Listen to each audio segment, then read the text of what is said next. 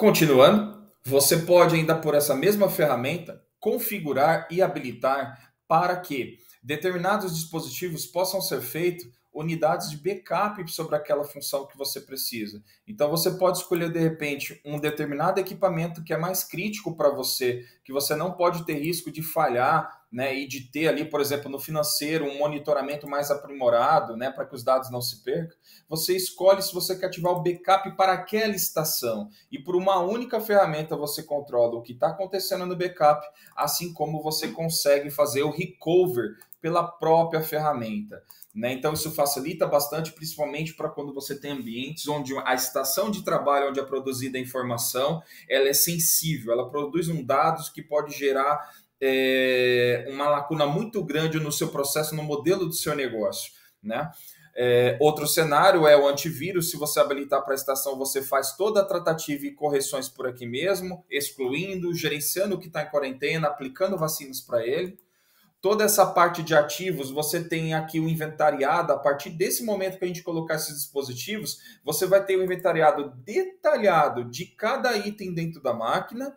Né? assim como de cada software instalado na máquina. Né? A, cada desses cenários aqui facilita para você, porque você já entra numa esfera de conformidade à LGPD, né? de monitoramento de ativos, que é justamente uma das premissas para a implementação de LGPD.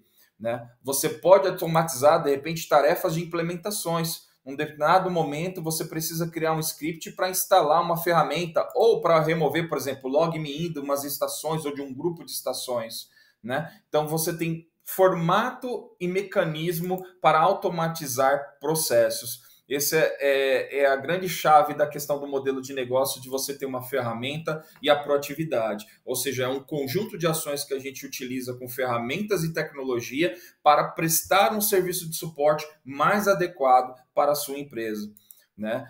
É, ainda na parte de MDM, essa plataforma possui recursos para MDM de dispositivos é, iOS ok? Então é possível monitorar a geolocalização desse dispositivo, assim como os, os aplicativos instalados, bloquear o aplicativo remotamente, né? É, todos esses modelos a gente entende que são um conjunto de ações que podem ser implementados e eles podem ser implementados, inclusive, gradativamente. Você não precisa, de repente, acionar todos esses itens no modelo da contratação. Você pode, conforme for avançando o seu modelo de negócio, implementar essas atividades que façam sentido para o seu contrato, para a sua gestão. Tudo bem? É, mais um detalhe importante.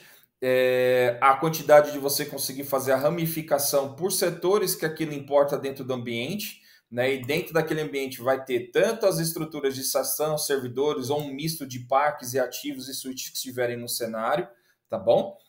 É, isso aqui é compartilhado e customizado e todo esse atendimento ele pode se transformar também num ticket de gestão, né, para você fazer o gerenciamento é, sobre como está a, o andamento do Service Desk. Então, eu vou apresentar para você também um outro vídeo que mostra só como é a parte de abertura de chamado, como são feitos os cenários para você administrar todo o atendimento que foi realizado para o seu usuário.